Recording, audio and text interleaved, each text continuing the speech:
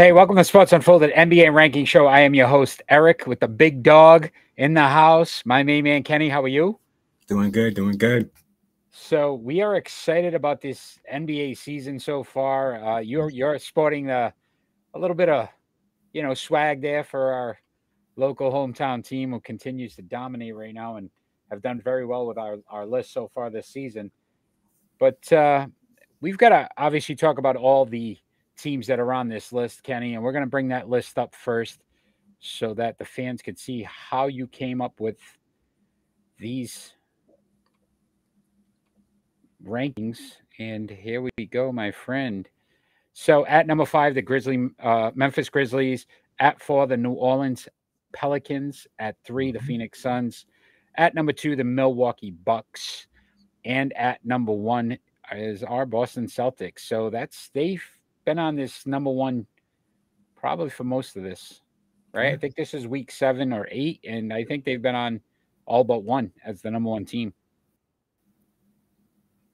So Yeah, pretty was good. impressive what yeah pretty impressive what boston's been able to do so far this season uh and just if you think about where they were last season to now it's just amazing as, as to how they are but let's let's start right off with this number five team and that's the memphis grizzlies and uh they are currently the grizz 15 and 9 9 and 2 at home so very good home record 6 and 7 on the road so struggling a little bit on the road They're averaging one uh, 14.8 points per game, which is 10th overall in the league. Yep. 112.8 given up, which is 14th. So you think about it, they're playing a lot of close games. This week, Kenny, they face uh, OKC, Detroit, and Atlanta all at home. So that bodes well for them. Again, very good at home. Uh, and then I, I wanted to point out we know about Ja and Ja, what he can do. But Mhm. Desmond Bane, number five in the league, 3.8 three pointers made per game. So he's also contributing uh, similar to what he did last season. But your thoughts on the Memphis Grizzlies and why they're at number five? They can run, they can run. They can run the ball. So they're 14 and 0 when they lead by double digits, but they're nine when they don't. Gotcha. So they got to get the they got to get the lead and and then just you know maintain it. Again, very young team. Again, what they did last season. If you look at the opportunities, if Ja Morant didn't get hurt last season in the in the postseason, Right. we might be having a different conversation of where the Memphis Grizzlies are or who they are. Uh, so them getting hurt or him getting hurt during that uh, Golden State Warriors series, correct? Yeah. Yep. And he missed he missed a bunch of games, so that kind of hurt him. So Yeah. again, fair to say they may not be on this list next week. I mean, I looked at it. The only team that really you could possibly maybe the Sacramento Kings, as surprising as it is, they're 13 and 9 so far this season. Yeah, they're pretty good. They're pretty good. Yeah, they won't be on this list uh, next week. Uh, against the Timberwolves, they were terrible. Uh, 16 for 30 from the free throw line, shooting 69% from the free throw line. They got to make their free throws and they got to rebound. Yeah, I'm a little concerned too that again, three easy games this week, all at home. Yep. They should be able to win these games. If they lose any of these games, they definitely, again, these would be some bad losses and probably knock them out. Yeah. All right. So very fun, exciting team at number four, and that's the New Orleans Pelicans. When you talk about fully healthy, Mm, being healthy, and how important that is, Zion Williamson, healthy. healthy. He's so far been able to maintain that. They're 15 and 8 so far this season, 9 and 3 at home, 6 and 5 on the road, 117.3 points per game, which is fourth overall in the league. So they're scoring a ton of points, giving up 110.3, which is 10th. So they're in the top 10 in both statistical categories when it comes to so they're not just scoring, they're they're shutting teams down. Yeah. Tough week though. At home for Detroit. I know how high you were on Detroit, but then back-to-back games at home with Phoenix. Yeah. So your thoughts on the Pelicans, why they've been so successful so early this season, and then also can they maintain and stay on this top five?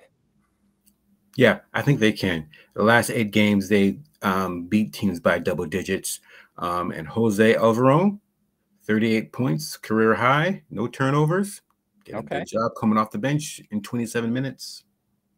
He, yeah, again, get, get a solid bench. Zion, again, we know is going to take some time off. He's not going to be fully healthy. Uh, Brandon Ingram, Uh, he's another one that sometimes gets injured. Uh, you, know, can't stay healthy. McCollum's, uh, uh, you know, an older player that Yeah. they're going to have some rest too. So it'd be interesting to see if the Pelicans can maintain this. How big of a impact do you think Zion Williamson could have for them this season if he stays healthy? Huge, huge. He's averaging he's averaging four assists a game. So he's he's getting his spots and he, and now he knows how to pass the ball out when he gets double teamed. And they just have to have shooters around him. Yeah, look, I, I just how dynamic of a player he is. They signed him to that big contract. Right now, it's it's paying off. They they're getting their money's worth. Right, they're a winning ball club. They're seven games over five hundred. I just I'm concerned about the health. It, it concerns me because he just hasn't been able to stay consistent at it. So if if I was going to say the Phoenix Suns would be at number three, Kenny, you would probably tell me you're crazy, Eric, because we Mhm. thought about what this team was last season. I think they finished the season number one uh, in last year's poll. So far, 16 and 8 this season, 12 and 2 at home. So phenomenal home record. But four and six on the road just have not been the same team when they travel. 116.5 points per game, which is seventh overall, 109.3 given up, which is sixth. So you think mm-hmm. about it, they have not been predominantly known as a defensive team. They're only giving up 109 points. So very good so far this season Yeah. when it comes to defense. Tough stretch though this week. We talked about it. Boston tonight Yep. at home and then at New Orleans for those back-to-back games. Your thoughts on why the Phoenix Suns aren't better than what their record shows right now, 16 and 8. Uh, those back to backs are terrible. Those back to backs are horrible. We know Devin Booker averaged 45 points last week, shot 78%, Wow. and they, and they did it without Chris Paul, who will be back tonight. Who will be So- back tonight. Is this an indication though as this team again when you look at the West, they're the highest ranked West team so far. Are they the best team in the West? Yeah, most definitely. And once they get Chris Paul back, we'll see if he's, you know, he's he has rust or is he well rested or he's ready to go or. I feel like we have this conversation a lot about Chris Paul. Like, yeah, right. Yeah, right. Because I believe last time we said it, right? How great it would be to get the rest before he gets into the postseason because he got he lost some time there as well. So Mhm. look, I like Phoenix. This is a big game uh, tonight because both of these teams could be considered NBA Finals Yeah. Yep. opponents, and Huge game. who's going to who's going to you know strike that first blow and become the the team that the other team has to really think about and worry about. Uh, we know what Boston's been doing. Phoenix a little inconsistent, but very good at home, twelve and two. So Yeah. very good matchup there. Mhm. So I believe this was my pick for the NBA Finals, and that's the number two Milwaukee Bucks. Uh, so 17 and six so far this season, 11 and three at home, six and three on the road, Mhm. only scoring 112.6 points per game, which is 15. So they're middle of the pack when it comes to scoring, but third overall defensively, only giving up 107.8 points. So you talk about a defensive juggernaut. That's the Milwaukee Bucks. Giannis out of this world right now, second overall in scoring in the NBA at 31.9 points and fifth in rebounding at 11.3. So we talk about Tatum MVP candidate, which we'll discuss next, but Giannis is uh, quietly having another one of those seasons where he's dominating. Yeah, he, yeah, he dominates. So one of those games, uh, some of their games this week, Sacramento at home. So again, we talk about a high scoring team, second overall in scoring. Sacramento, can this defense stop them? Then at Dallas and at Houston. So Mhm. two very winnable games. Dallas is a toss up because again, depends on what Mavericks team shows up and if Luka, you know, can do Luka things, which sometimes he has that ability to do. Yeah. But they just got back Middleton how strong are the Bucks? How much of a threat right now are the Milwaukee Bucks to the Boston Celtics? Just like you said, they just got Middleton on Friday. He did a pretty good job, five for seven, mid Right, they're gonna- range, um, seven assists, no turnovers. yeah, They they're going to ease him. back in, Yeah, right? They're not going. They're not going to rush him back into anything. But defensively is where I say, look, most teams that are going to get there. Boston last season to get to the finals, it Yeah. was all about defense. They became the number one defensive team. Mhm. Right now, Milwaukee as a contender is playing probably some of the best defense in the league. Yeah. that makes a difference. And now you get Middleton back. Jrue Holiday has been playing extremely well yep. in his absence. You got guys off the bench like Grayson Allen who have done very well for them. And then your boy Brook Lopez. I know how high you are on Brook, but defensively, what he's been able to do, and even offensively. So I, I don't know. Let me ask you this: If you had to vote MVP right now, are you going Giannis? No. You're gonna go with the guy at number one? Yep. is that is any indication of the thing that's on your hat? Maybe is, is a, a, small factor in that, or I am not biased at all. No, not at all. Not at all. As I could see that little Ray Allen in the background as well. My oh my goodness! I, I somehow I don't believe you. somehow I don't believe you. So let's talk about those Boston Celtics, the number one team again mm-hmm. this week, twenty and five overall, eleven and two at home, nine and three on the road. 120.6 points per game is number one in the league. They're the highest scoring team in the league this season. 13th overall defensively, though, giving up 112.6. Rob Williams, I think, will solve some of that problem when he's back and fully healthy. Yes. But they're on the West Coast. Very tough uh, stretch here at Phoenix, at Golden State, at the Clippers. And then before then, uh, our next rankings will be out on Tuesday. They play the Lakers that night as well.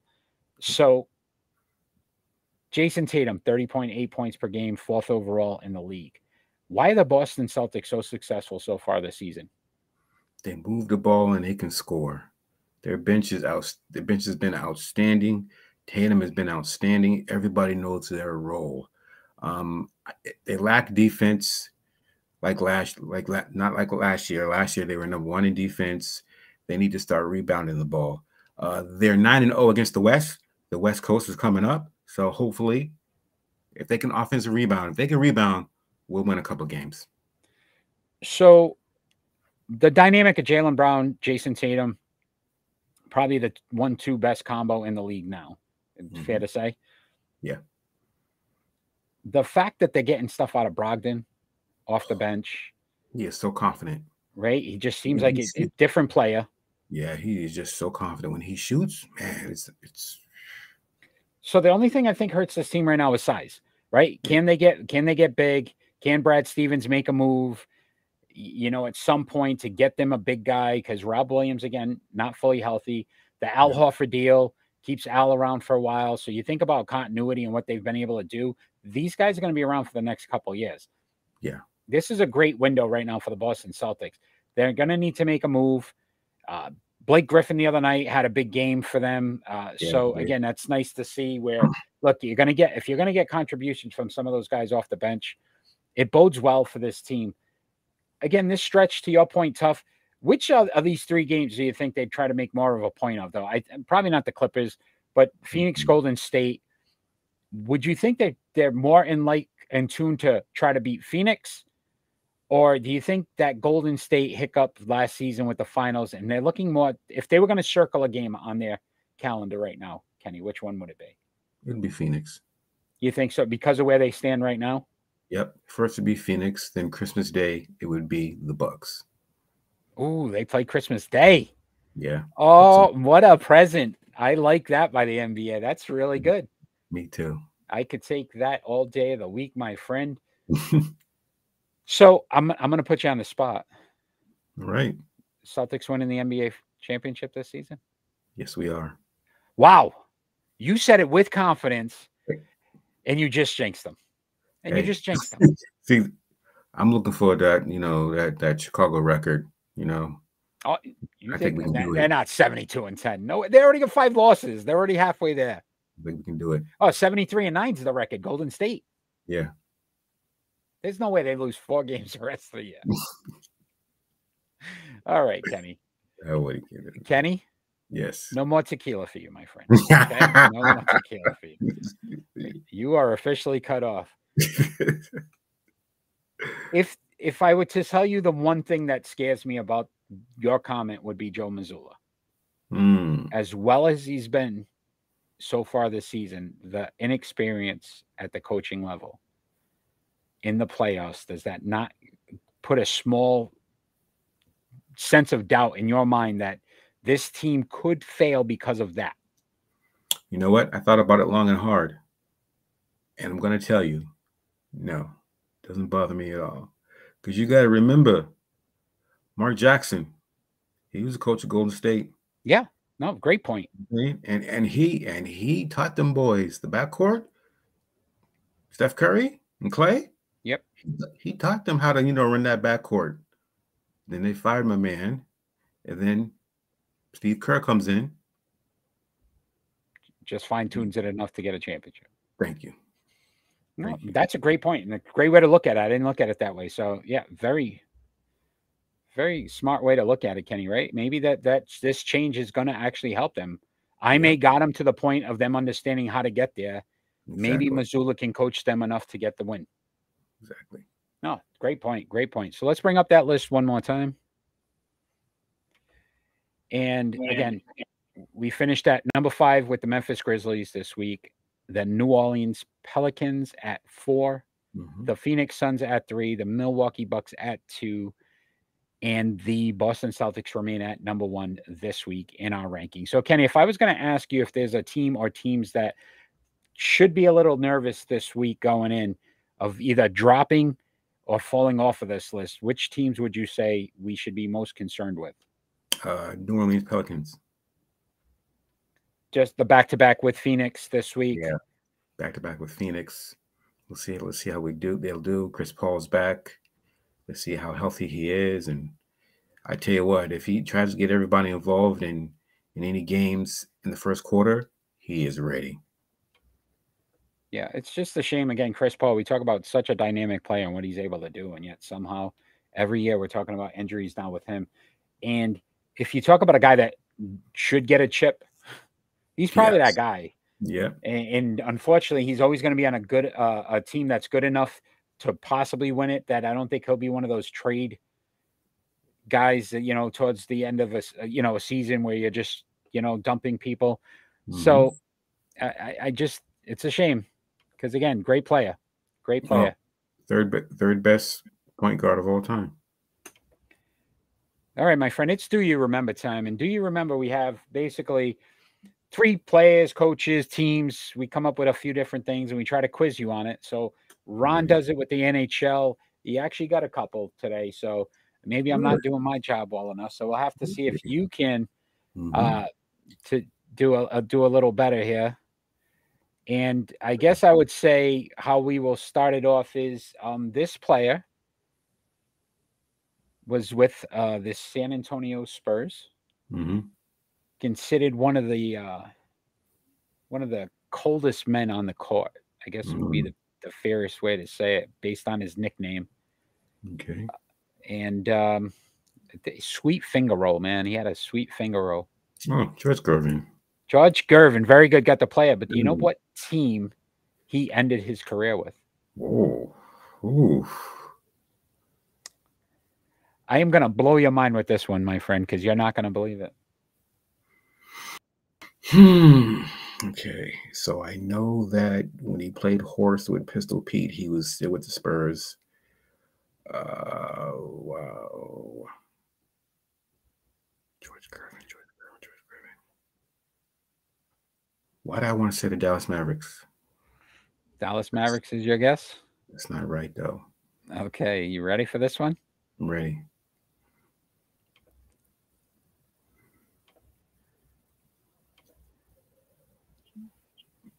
Chicago Bulls, my friend. And you want to know you want to know who he played with that year? That's right. That's right. Some guy named Michael Jordan.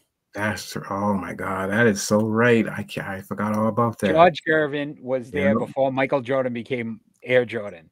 Yep. 1985. the yep. Iceman, cold on the court, bro. That finger roll, right? Finger roll. George Gervin, though, and if you think about it, right, did not remember that. Wow. It's so hard to remember that. Wow, I forgot all about I forgot all about that. Dang. Right. oh for one. Oh for one, yes. All right. So this player mm-hmm. was considered one of the best rebounders and scorers of all time as a big man. Mm. Actually, up there in most of these statistical categories. Played for the Philadelphia 76ers.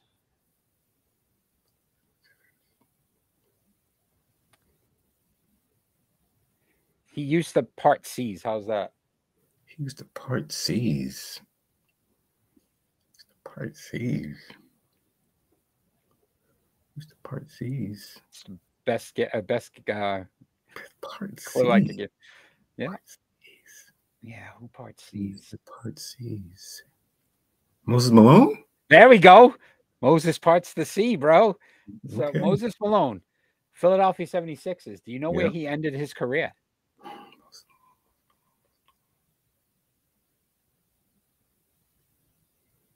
Oh yeah, I do. Oh yeah. Yeah. Where? The Bullets. The Bullets. Moses yeah, Malone. Bullets. bullets. Yeah. All right. Let's see if you're right. Oh gosh. San Antonio, my friend. But in between, let me say this: you could, you were semi right on this because he went to Washington, Atlanta, Milwaukee, back to Philadelphia, and then finished his career with the San Antonio Spurs. So Moses Malone, and I remember him with Atlanta. For some reason, yeah. that one sticks in my head more than any others of those I remember, teams. I remember him with the Bullets. The Bullets, man. Wow. Yeah. you know why they but, changed? You know why they changed the name? It was considered a little too threatening, wasn't it? It went to reduce crime in Washington. Yeah, in Washington. So they didn't want to associate it with you, yeah. which is kind of crazy. Yeah. Which is kind of crazy. Yeah, yeah I'm sure that's the crime went way down after that. I'm sure. Yeah, no, no, no, no, yeah, no, didn't. All right, so I'm gonna give you a give me here. This is a gimme. All right. I would okay, think. All right. All right. So mm-hmm. Rick Pitino was the head coach of the Boston Celtics from 1997 to 2001. Yeah, yeah. Who replaced Rick Pitino is the next coach of the Boston Celtics. Oh, jeez. Do you remember, Kenny? Who was the coach after Rick Pitino? And he was there for four years. So four years.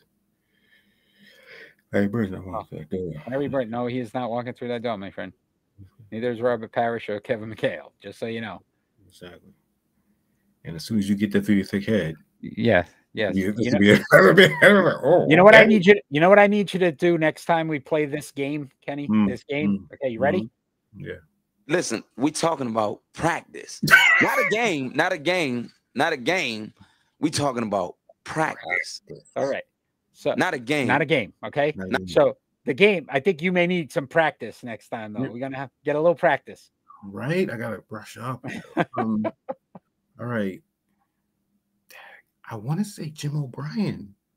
You want to say Jim O'Brien? Really, Let's see if you're correct. Jim O'Brien. Let's see if you are right, my friend. Is it Jim O'Brien? You are correct, my friend. Jim O'Brien, 2001 to 2004. Believe it or not, 139 and 119. So he actually had a winning record, 13 and 13 in the playoffs. He was 500 in the playoffs. Yo, I like Jim O'Brien when I was right. Jim O'Brien was a good coach. He, he really was. coach. And you think about the mess that Pitino left him and what he was oh, able to build. Right. So that was interesting. Good, good job though on that one. You know, I remember Jimmy. How do you remember Jimmy O'Brien? What do you, how do you remember? O'Brien, he is the first coach to coach an all black team. Really? In the NBA, yeah. Wow. That's all, that's all the team was everybody was African American. Wow. Everybody was African American. Right. And he was an assistant coach with Pitino, correct? Yes, yes, yes, he was. Right. Yeah. Yeah. So that's right. And there was a little bit of, of that, yeah. like you're bringing in the same kind of style, but he was a completely different coach. Yep. Yeah. Rick Pitino didn't do so well in Boston. Mm, no, not at all. Nope, not at all. Not at all, man. It didn't work for him. Didn't work for him. Mm-hmm. So this has been the Sports Unfolded NBA ranking show. We are normally on every Friday night at 6 p.m. Eastern Standard Time. We're live on Facebook, YouTube, Twitch, and Twitter and that is on Rhode Island Broadcasting. So check out Rhode Island Broadcasting. If you'd like to follow us on our social media platforms, that ticker right down there, it's kind of telling you everything and each way you can can follow us. Uh, we post these each and every week. We also do our NBA, uh, NFL, and NHL rankings. Once Major League Baseball season starts again, can't wait for that. I know you have some opinions on the Aaron Judge situation. Save it for mm-hmm. our MLB preview show, Kenny. Don't All right. But um, look forward to next week's list, my friend, and seeing if any of this changes because there's going to be some really good games this week, and some of these teams are going to possibly lose a couple of these games. So it'll be interesting to see if they can hold on to the to these top five spots. Oh yeah. My friend, thank you again for joining. I will see I will see you next week. Everybody that's joined live, thank you very much. All those that are going to watch afterwards, check us out, follow us, do all you can. And all we ever ask for every single week, my friend, is peace in this world. Peace.